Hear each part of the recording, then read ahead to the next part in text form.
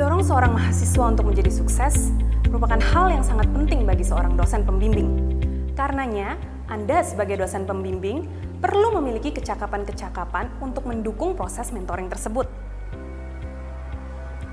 Kami mengajak Bapak Ibu dosen sekalian untuk ikut serta dalam sebuah workshop yang bertajuk How to be a Professional Academic Advisor.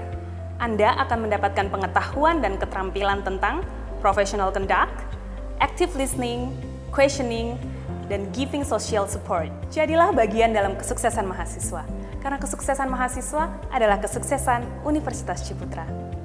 Salam entrepreneur.